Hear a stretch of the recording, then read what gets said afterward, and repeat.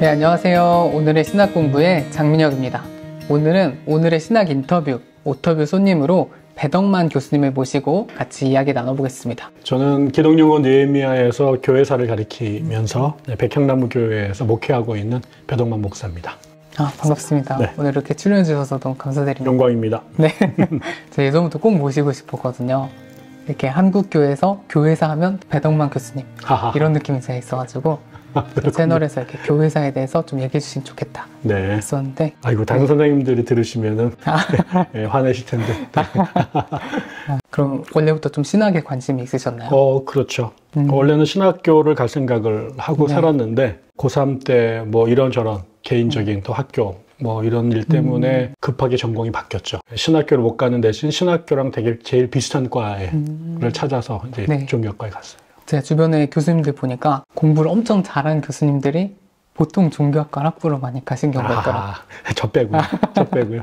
가보니까 네. 뛰어난 사람들이 많이 아, 있더라고요. 네. 그래서 하시고 이제 신대원 가시고 예, 그렇죠. 네, 네. 그래서 오늘 원래는 신학교를 못 갈 것 같아서 종교학과에 갔었는데 다행이죠. 네, 다시 신앙이 회복이 돼가지고 음, 어, 학부 졸업하고 이제 신대원에 갔죠. 이제 신학을 계속 연구해야겠다 이런 결심을 하신 거예요. 네, 그렇죠. 처음에는 네. 신학교 갔을 때는 당연히 졸업하고 뭐 시골 교회 가서 목회하는 음. 사람이 될 거다 이런 생각을 하고 갔는데 좋은 교수님을 뵙고 원래부터 역사에 관심이 많았기 때문에 음, 어, 저희 교수님 이제 조교를 하게 됐는데 그 선생님이 저를 공부하도록 계속 아, 설득하셔서 저를 유학을 보냈죠. 아, 그래서 이제 결국 이렇게 학자가. 네. 어떤 분야를 전공하셨나요? 미국 교회사를 했고요. 나중에 논문은 20세기 미국의 오순절 운동에 대해서 썼어요. 그 넓게는 이제 복음주의 교단에서 자랐기 때문에 또 저희 네. 선생님 영향도 있고 그래서 넓은 범주는 미국의 복음주의 운동에 대한 공부를 했고 나중에 이제 박사학위 논문은 이제 어, 미국 오순절 운동의 종말론과 그다음에 네. 그 오순절주의자들의 사회 참여 뭐 이거 상관관계 이런 거에 대해서 아, 박사 논문을 썼어요. 좀 그 분야에 관심을 갖게 된 계기가 있으셨나요? 어, 저는 이제 기본적으로 그 아주 교회사 공부를 이제 서울신대 가서 하다 보니까 내 안에 두 가지가 관심이 있구나라는 걸 알게 된 거죠. 네, 처음에 두 가지, 그다음에 그게 이제 세 가지가 된 건데 하나는 성령에 대한 관심이었어요. 근데 성결교회가 성령에 대한 관심이 네. 많으니까 음. 또 종교학 공부하면서 결국 종교의 본질 중에 하나가 종교 체험이다. 예, 네. 거룩의 체험이다. 그럴 때 그게 이제 기독교적 용어로 하면은 이제 성령을 경험하는 거잖아요. 그 성령 의 체험. 이게 이제 종교 경험이 교 신앙이 매우 중요한 바탕이 된다라고 생각을 했고 또 하나는 역사에 대한 관심이었거든요. 역사에 대한 관심이 제 안에 어릴 때부터 있었고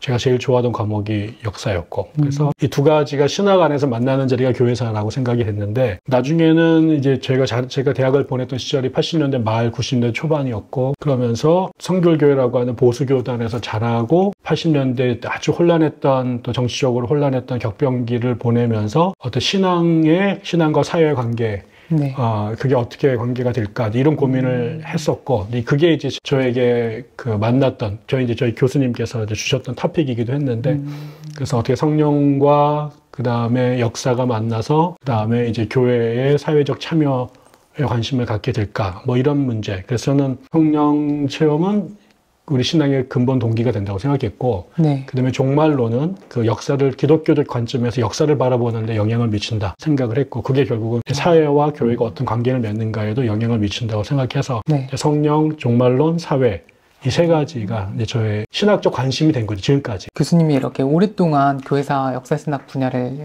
연구하시고 음. 공부하셨잖아요. 공부가 교수님의 신앙에는 좀 어떤 영향을 주었는지 궁금합니다. 음. 사실은 제가 교회사 공부를 하게 된 출발점은 음. 별 생각 없이 즐겁게 교회를 다니다가 고등학교 2학년 후반부터 질문이 생기기 시작했어요. 성경을 읽다가 어 앞뒤가 안 맞는 것 같은데 이런 문제. 그 다음에 목사님이나 전사님이 교회 교리를 설명하시는데 그야말로 납득이 잘 안 되는 문제들이 음. 생겨나기 시작해서 질문을 던졌는데 속 시원한 답변을 잘 못 들었죠. 음. 그 나중에는 답변을 하기가 궁색하시면 화를 내시고 어. 이제 믿으라고 그러고 막 이러고 제가 이제 질문을 했는데 결과적으로 믿음 없는 애로 아. 부메랑이 돌아오게 된 거였어요. 제가 나중에 어 이 사람들이 모르는데 믿는 척 하는구나. 모르는데 믿고 있구나. 라는 생각이 들어서 나는 이거는 좀 동의가 안 된다. 아, 네. 이런, 그게 이제 그 당시에 제가 18살, 9살 때 고민이었거든요. 그래서 사실은 신학교를 못 가고 종교학과를 갔던 이유 중에 하나였는데, 근데 나중에 제가 이제 어거스틴을 알게 되면서 보니까 어거스틴이 나보다 한 천배는 똑똑한 사람이더라고요. 음.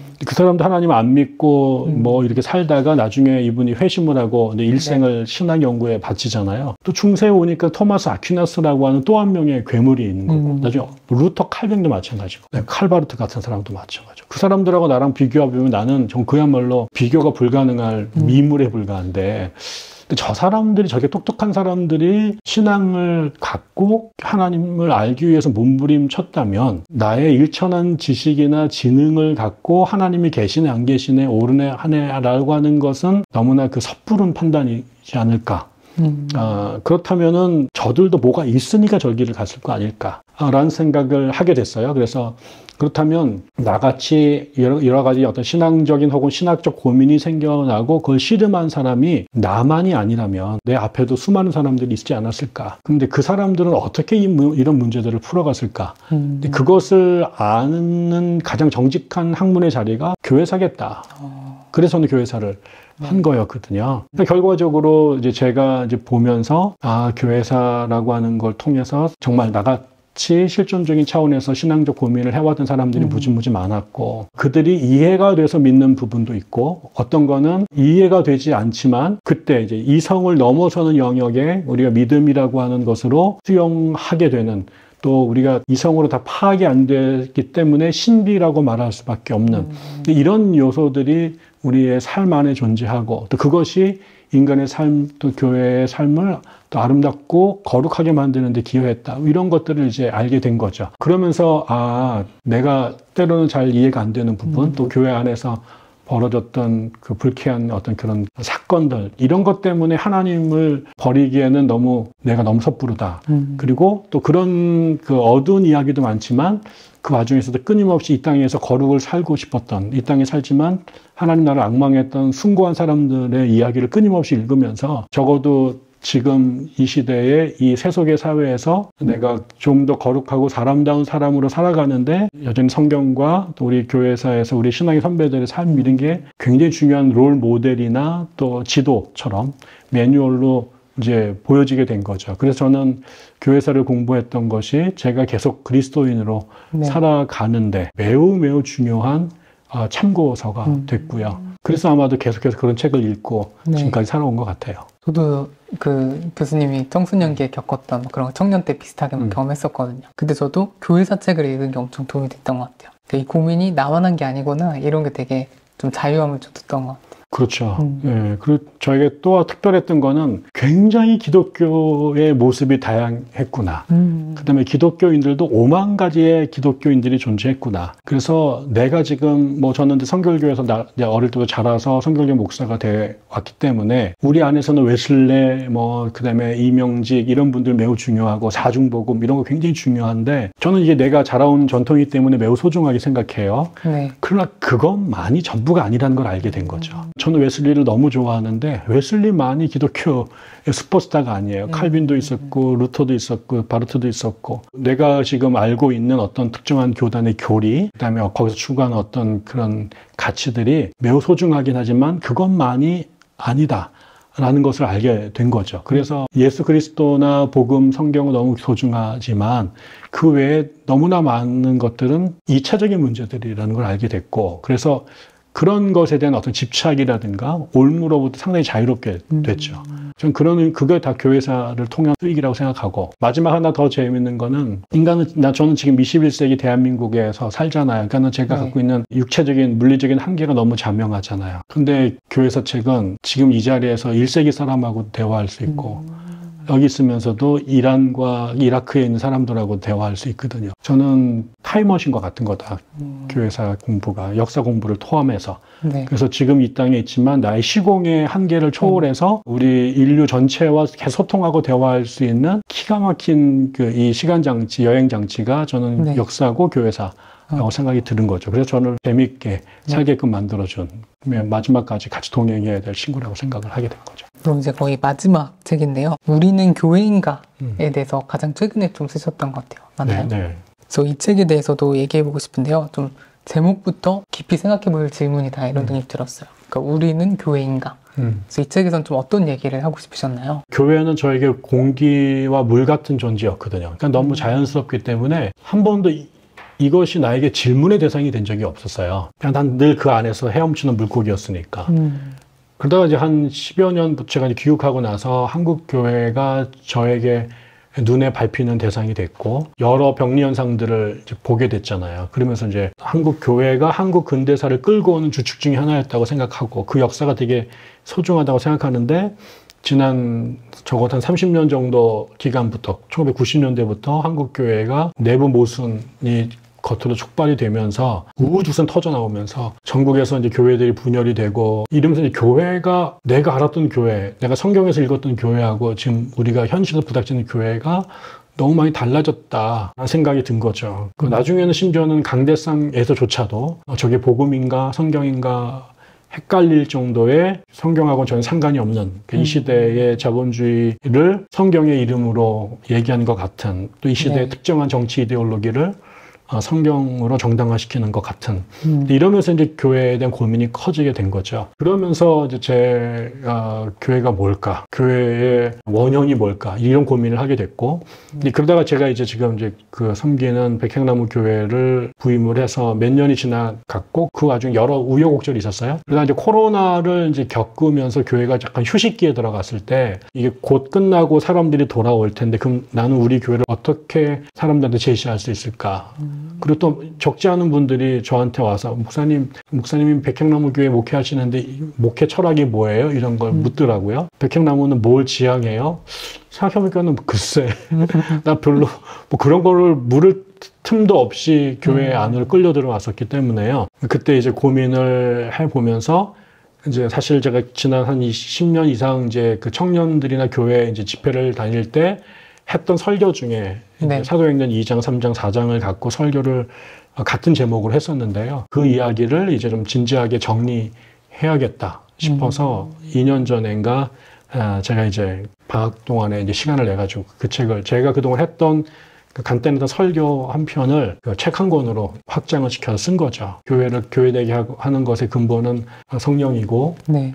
어, 성령이 하나님이신데 그분이 결국은 교회라고 하는 공동체를 통해서 이 땅에 당신 나라를 이루신다고 생각하는데 그 첫 장면이 저는 그 사도행전 2장, 3장, 4장이라고 생각이 들었어요. 그래서 네.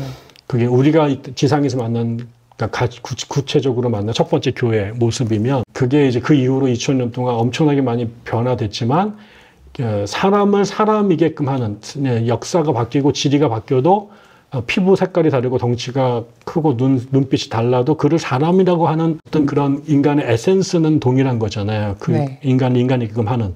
저는 그 교회가 아무리 제도나 어, 신학이 달라지더라도 교회를 교회이게끔 하는 코어는 있을 거다. 저는 그게 사도행전에서 나타난 모습일 거다라 생각했고, 음. 이제 그래서 사도행전 2장, 3장, 4장을 이제 제 나름대로 묵상을 하면서 거기에 벌어졌던 성령의 임재, 방언의 사건, 그 다음에 사람들이 예수를 주로 고백하는 것, 그 다음에 병자들이 고쳐지고 또 같이 모여서 떡을 떼고 이러는 모습들이 올해 아무리 21세기 대한민국의 다양한 모습으로 교회가 존재하더라도 교회가 교회이려면 적어도 이런 것들은 잊어버리면 안 되지 않을까. 음. 뭐 그런 생각을 하고 이제 그 책을 쓴 거죠. 약간 교수님 나름대로 이렇게 교회론에 대해서 한번 정리해 보는 그렇죠. 그렇죠. 그런 책이라고 네. 볼수 있겠네요. 그렇게 말할 수 있는 얘기를 이렇게 길게 해. 아니요. 어. 감사합니다. 그래서 제가 음. 준비한 질문을 이제 다 마쳤는데요. 음. 이제 저희 구독자들한테 혹시 하고 싶은 말씀 있으시면 마지막 한마디 부탁드립니다. 음. 한국 교회가 어려운 시기를 보내고 있잖아요. 기독교인이라고 하는 것을 자랑스럽게 공개하기가 쉽지 않은 그런 시대를 살고 있죠. 그리고 그래서 젊은이들이 교회를 떠나고 나이를 떠나서 교회를 떠나면서 그럼에도 불구하고 또 하나님을 버리지는 못하고 이런 고민 속에 살아가는 사람이 점점 좀 많아지는 것 같습니다. 거기다 또 코로나의 사건이 누군가는 교회를 떠날 최적의 기회를 하나님 주셨다. 뭐 누가 또 그렇게 음. 해석하는 분도 있는데 적어도 수적인 면에서는 교회가 어, 줄어들 것은 다 명약 관화한 것 같습니다. 적어도 기독교 교세는 계속해서 줄어들 것 같아요. 그렇지만 저는 그 교회들이 잘못을 하거나 또 사람이 실수한 부분들을 우리가 피해갈 수는 없지만 시대가 교세는 줄어들지만 어떤 면에서는 우리를 정금같이 다듬어내는 진정한 그리스도인으로 성장하는 또 절호의 기회일 수도 있겠다 싶어요. 저는 그런 차원에서 우리가 직면한 이런 현실이 우리가 일- 인간이 또 혹은 교회가 이 땅에 존재한 이래로 처음 경험하는 게 아니라 이거보다 더한 사건들, 더한 어려움들도 수없이 겪었거든요. 그럴 때 그들은 어떻게 그런 위기들을 극복하면서 교회 역사를 더 연장시켜 왔는가를 공부하고 또 찾아본다면 또 이 위기의 순간을 극복할 수도 있고 또 우리가 이, 이 시련을 통해서 더 좋은 그리스도인과 교회가 되어질 수도 있지 않을까 그런 의미에서 그 이 어려운 시절에 저를 불러주신 이유도 그럴 거라고 생각하는데 교회사에 관심을 좀 가지시고 공부도 좀 하시고 그리고 한국 교회가 더 나은 교회로 성장하는데 나는 또 우리 교회는 이제 어떤 모습으로 살아갈까를 고민하는 그런 기회를 가지면 어떨까 싶습니다. 그래서 오늘 제가 나눴던 이런 이야기들이 여러분들로 하여금 적어도 교회사 책을 좀 주목하고 펼쳐 읽게 되는 그런 계기가 됐으면 좋겠다 싶습니다. 네, 그래서 오늘은 저희 배덕만 교수님과 이야기 나눠봤는데요. 교회의 역사에 대해서 그리고 또 이 교회가 역사와 어떻게 교류해 왔는지 서로 영향을 주고받았는지에 대해서 좀 많이 생각해 볼 수 있는 시간이었던 것 같습니다. 여러분들도 이렇게 교회사에 좀 더 관심 가져주시고 또 유튜브에 검색하시면 배덕만 교수님이 강의하신 정말 많은 강의들이 있거든요. 그래서 그런 것도 보시면서 좀이 한국 교회가 어떻게 가야 할지 또 우리 그리스도인으로서 우리는 어떻게 살아야 할지 같이 고민해보는 시간이 되면 좋겠습니다. 오늘 출연해주셔서 너무 감사드립니다. 감사합니다. 네, 오늘 여기서 마치겠습니다. 감사합니다. 감사합니다.